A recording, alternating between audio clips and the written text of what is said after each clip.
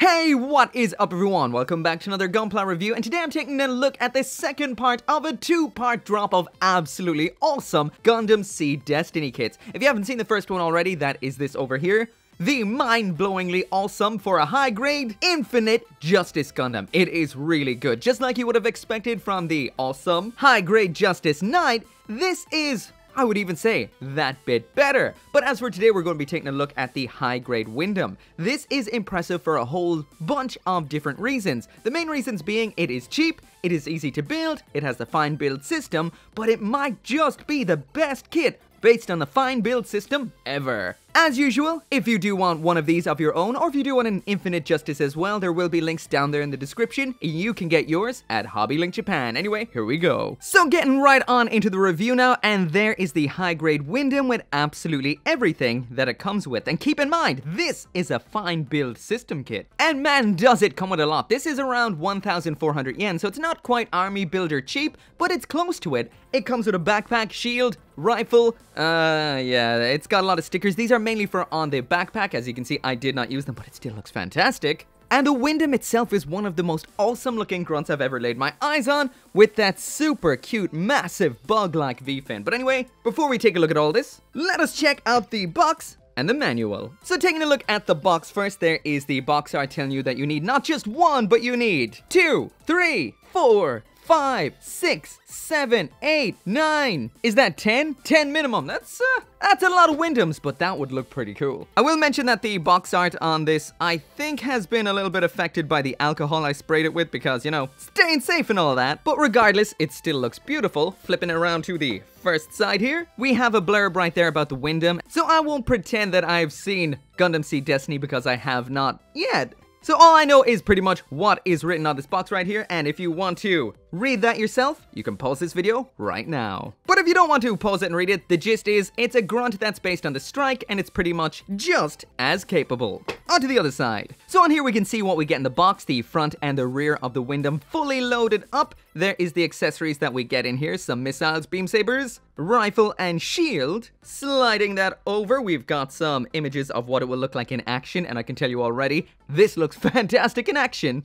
And we've got the Jet Striker pack in here, it's articulated. And this can be used with other high-grade striker packs, and this must be a one-peg older style striker pack because this guy right here does only have one peg, not the two-peg standard that we see in kits right now. And like I've been mentioning throughout this review so far, this is based on the Fine Build system. In case you don't know what the Fine Build system is, that little bit of a diagram right there will give you the gist. These are joints like what you would see in the 30 minute missions or other Fine Build kits we would have seen before, which are grunts like the Leo, Maganac, and the Death Army if I'm not mistaken. That is them all as far as I know, but if this is Fine Build and those are Fine Build, in my opinion this is the best Fine Build kit yet and has taken it to a crazy new level. Now let's check out the Windam itself. Wait, but before I do that, let's take a quick look at the manual. There is the specs of the mobile suit itself in case you're into that particular stuff. I know I am. You gotta know this thing has a Todesschrecken. I don't know what a Todesschrecken is, but I'm sure I'm gonna find out soon. But what we wanna see is around here on the back. So here we have some info on the mobile suit itself. You can pause and read that if it's not shaking around too much. Get yourself up to speed with the mobile suit. We have some information right there on the Jet Striker Pack. Some info on the beam rifle, some info on the multi-purpose missiles, but as far as I know, there's only one purpose for a missile. I doubt he's delivering packages with them, unless it's packages of bombs!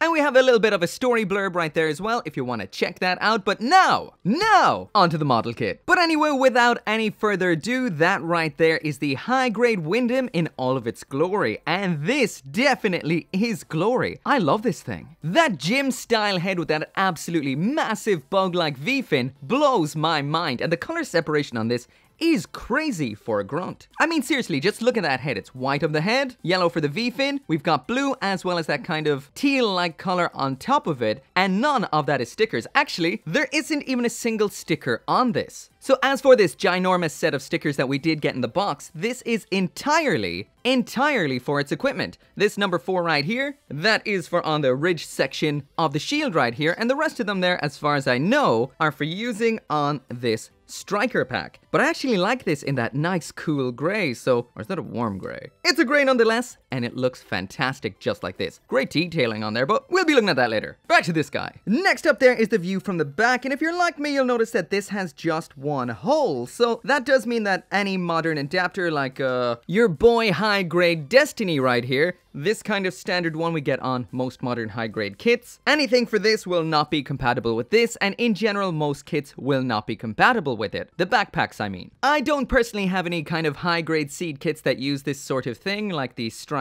etc., so that does mean I have nothing to use with this, and it would have been nice if they included some kind of adapter, just a simple peg to two-hole adapter so you can use other kind of packs with this particular kit right here. But if you have a lot of seed high grades that do have that style of pack hole, hey, then you're golden. So once again, for a fine build system kit, this does have a lot of nice detail and a lot of features that you wouldn't expect on something like that. The color separation is fantastic for something so simple, and all in all, I am incredibly, incredibly impressed by this. And just in case you're curious, because I always forget to mention this, this is all I use to panel line this. So this is a black and white white, I mean gray, Gundam marker, and this is the Sumi Ire type. So that means it is just the fine liner style pen that you can just draw into the lines and rub off with your finger, or an eraser, or something like that. This is a kit that is a little bit on the cheap end of the high grade scale, or at least the modern high grade scale, so it doesn't have a lot of premium features. So it does feature quite a few surface seam lines like what you're seeing right here, as well as a lot of surface nub marks. But I only cut this out with two snips of the God Hand Nipper, that is it, and still the nubs aren't really all that prominent. So again, for such a simple kit based on the fine build system, this thing's impressive. Anyway, before I forget, there is the full 360 60 degree spin so you can see this thing from absolutely every angle. Make up your own decision whether you like this or not, but something inside me tells me that you will. This thing is a fantastic take on the Gundam style design. Next up there is what it will look like in a collection. I will mention once again, this is predominantly master grade and fairly big kits and figures, so it will look a little bit on the small side, but I did throw in another couple of high grades, recent high grades that is, with it, so you can get a general idea of what size this is. And this isn't even equipped yet, there is no backpack,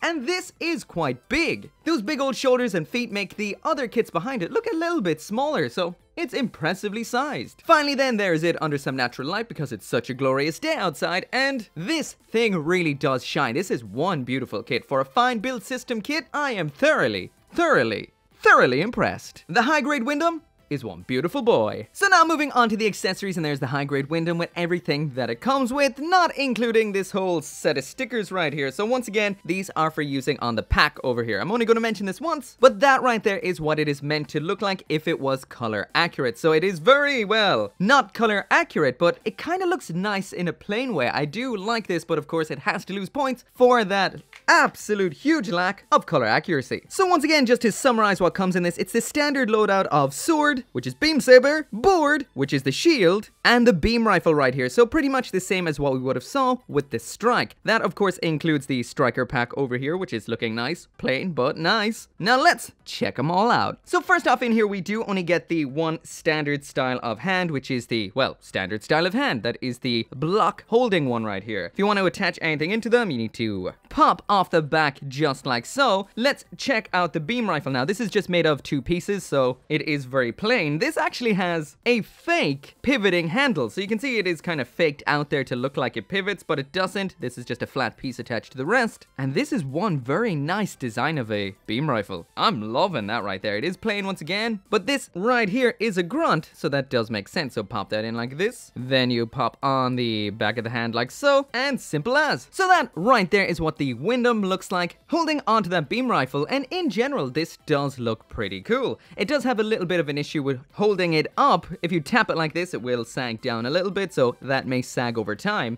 Even when fully pushed in, it can be a little bit loose, but once again, that's easy to tighten up. Use a bit of super glue, wait for it to dry first, or, uh, well, it would be permanent, wouldn't it? But yeah, once again, I am digging that flat plank of a beam rifle. That is unique. So if the fight does end up in close quarters, we do have a pair of standard beam sabers in here. So this is your general pink beam with a one-piece white handle that just slides into the hand like this. Ever so simple. And when this is not in use, you can see right here, we do have a bit of a tab hole. So open this up, or should I say, pull it apart, and then that can be just stored on the side skirting armor, like that, right there. So there's a quick example of what the Windam will look like holding onto its beam saber. Tilt it down a little bit more so you can see it. And the more and more I look at this kit, the more I love it. The angles, the general design, this thing's cool. So the next piece of equipment we have in here is the shield. So this is white and blue, just like the Windam itself. Flip it around to the back and it is quite basic. We do have a large hollow section right here. A lot of those handles are just, well, cast in white and obviously do not move. This section here should have missiles that are gray and red, I believe. So once again, if you want this to be color accurate, you will have to paint it, but the detailing is still quite nice regardless of the lack of color separation. There is a quick example of what it should look like if it was color accurate and painted, and in case you do want to grab some paints while you're buying this guy right here, there is the color guide, so you can get the right ones if you don't have them already. As for attaching the shield, we've got this little adapter segment right here. This can be either attached like this or flipping around like this. There we go, this is what it's like attached on. We do have two ball joint sections here to attach it. On the underside here, you can see there are two different points at which to attach it, so I assume this one right here is when it is stored away and not for use. And this right here is when it's kind of moved forward to use what looks like some kind of killy killy claw on the end right here. Some spikes, which look like they're for use in melee combat. I really do like the choice of angle here, so that means you can bring it up like this in a defensive position. That looks pretty cool right there. Or you can pop that off and pop it on here for that more kind of traditional on the side of the arm shield approach, which can defend like that a little tighter to the body. But for me, one of the most exciting aspects about this kit right here is the striker pack. Shame again about the connection here not having an adapter to use it on other kits because this is plain. But at the same time, well, it's really to the point. It's a pair of jets and some missiles. What more do you want when it comes to in-atmosphere flight? Even though this thing is not color accurate, it does jam in some pretty awesome features. First off, the panel line detailing on this is very fine and it is quite beautiful. I didn't panel line this, so it might be a little bit harder to see. The nub marks on the missiles there, which are not color accurate per se, are a little rougher than the rest of the kit. But the articulation this thing pops in is great. This can move down like this, up like that. So that means it can be moved down for a kind of upward flight. And we also have the option of moving the wings upwards like so in a kind of like stored position, or they can be dropped down like this, which is another kind of stored position, but I guess you'll see and get a better idea of what I mean by that once it's attached. So this just pops into the backpack, as simple as that right there. And because it's got some big bits around on the back of its heels, it is not back heavy, so it's not going to fall over on you. This is some nice design right here. So that right there is what I meant by a kind of stored away position. For example, if it is on the ground, in a hangar, something like that. These can pop up then for flight. There is a view from the bottom. There is a view from above. Once again, I love this pack. These wings here can be angled slightly down or up depending on the kind of flight path you do want it to be taking in whatever pose you're making. And we do have the option of dropping the wings down like this. Is that what I just did? Because you can move them up like this if I already had them down. I'm not sure. I think this is not what I had done. So there's a lot of options here. Upward flight. Woo! So like I did mention, the missiles are not color accurate per se. This is what they should look like. Yes, they are predominantly gray, but we are missing the white and the red and the light gray. These can all be easily detached like this if you want to remove them and uh, fire them off. So we have two types. That is this one right here and this bigger one right here. So there is the full 360 degree spin of the high grade Windam fully loaded besides one beam saber that seems to have dropped off. But once again, I cannot express how impressed I am by this rad little dude right here. I mean, the fine build system is, well, such a simple design of a system that I'm surprised that this kit is as good as it is and it's a great sign of things to come. If we see more grunts like this, simple, easy to build, relatively cheap, with a lot of awesome stuff packed in, then I am 100% on board. This makes the original high-grade strike I looked at so many, so many years ago look like an absolute piece of trash, which it was, and this I don't know, what can I say? I've said it's impressive so many times because that's what it is. So anyway, on to the articulation and as usual, starting from that head down. So the neck on here is that standard polycap joint. Actually, the majority of the joints in here are the usual polycaps that you'll see in a high grade. So that does mean it's a ball joint in the neck and a ball joint in the torso, giving you that giggity giggity giggity goo. So there is the head all the way up, so not bad. All the way down, pretty good. There's the side to side pivot. It is a little bit blocked by the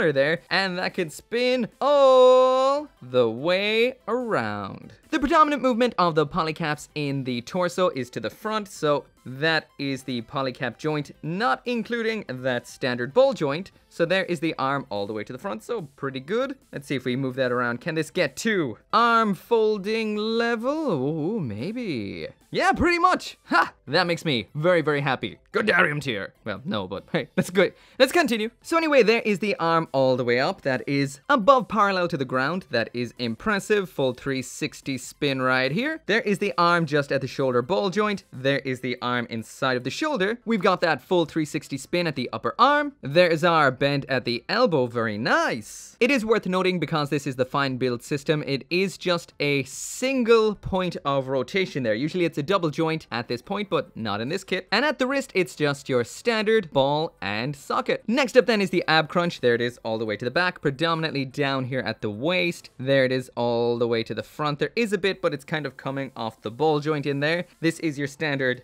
polycap ball there. And there's a polycap ball up here. There is the side to side. And we have that full rotation right here. So mainly what you're getting is at that polycap ball there. Down to the skirting armor now. These come connected on the runner, but you can split them apart. These are just a set of ball joints up and down. A little bit of in and out, but not much really. Standard side skirt here on the same polycap you usually see. So that gives you a lot of this. Not really a lot of that, but there is a little bit. You'll notice there is a bit of a hollowness to the inside of this, so if you don't like that sort of thing, you might want to fill it. And we've got that very basic, solidified, non-moving butt flap back here, and that's big, so that's going to get really, really in the way of the legs. I will mention at this point I am sticking to my usual rule, that is if anything falls off, it stays off, and there's nothing falling off on this besides this right here. So these are inclined to pop off because they are just kind of held via pressure to these little holes right here here. So they can pivot like that, but are easy to pop off because you tend to end up holding them while trying to move the legs. Well, I do anyway. But speaking of legs, it's kick time. There's the kick all the way up to the front, and that is impressive. He's going to take the chin off someone there. There it is out to the back, of course, that is blocked by that butt flap. Move it out a little bit. Mm, yeah, it's very, very blocked there. As for the splits, there's the legs all the way down, down I should say out. It's not gonna get on the ground because that butt flap, but that is impressive. Full rotation of the leg right here, but because of this little lip of armor at the front, that does mean it is blocked when it's all the way in like this, but still very natural movement. Next up is that bend at the knee. There we go. This is a double jointed bend. There is no moving gimmicks or anything like that. It is hollow on the inside of the knee, but still quite nice. This thruster on the side side of the leg can rotate all the way around. Well, not all the way around. Get stuck there. Spin, spin, spin, spin, spin. It can go, well, clockwise all the way around. And this is just rotating on the axis of this 3mm peg hole. So pretty good, but once again, some hollow parts, but it is a relatively inexpensive kit. Down at the ankle now, we do have this armor that can pivot like so, separate to the foot.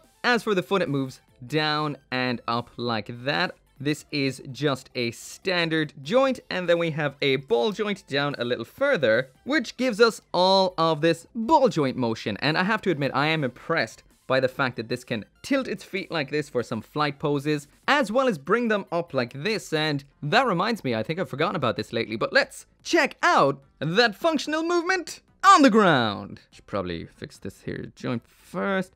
Come on, on you go, and there we go. And I'll also mention at this point, my fingers are not dirty, they're just dyed blue. Don't ask me why. So functional movement on the ground time, there it is all the way to the front. That is extremely, extremely nice. All the way to the back and once again, that is really nice. And there it is, side to side pivot. So that is a little bit blocked because of that armor. So front and back nice, side to side, not so much. Just like absolutely everything about this kit so far, the articulation is so impressive. The only bit of a letdown is down here at the pivot at the ankle, but besides that, this thing kills it. So impressive. So that right there is it for the review, and what can I say? This is kind of tough to rank, honestly, because it is a lower priced kit, it is a fine build system kit, and at the same time it surpasses them entirely. It packs in a lot of features that more premium high grades would have, but into a lower priced and simplified kit, so that nets this kit right here an impressive gold tier. Sure, there may not be as much plastic in this box as some other high grades, but that is reflected in the price. There is a lot of issues with color accuracy on the backpack, but that is not the biggest deal. It is just the backpack, and at this price, getting a backpack in there is mind-blowing. So for a fine build system, almost army builder style kit, this is the best so far. A lot of the other kits like the Leo, the Maganac, and the Death Army, they don't have the kind of, well, Gundam style this has, which is kind of hard to simplify. So what Bandai has done here, mixing simple with impressive, has blown my mind entirely. If you love Gundam Seed and Gundam Seed Destiny, this is a fantastic time to be a Gunpla builder. Bandai have been killing it lately. We had the RG Impulse Gundam, we had the high-grade Destiny Gundam, and we had the high-grade Infinite Justice, all of which are phenomenal kits. They are making some of the best high grades and real grades they've ever been making with seed kits, which is interesting. But anyway, as always, if you do want one of these of your own, there is a link down there in the description. As always, thank you so, so much for watching. Make sure to come back for more Gunpla reviews, and I will see you next time.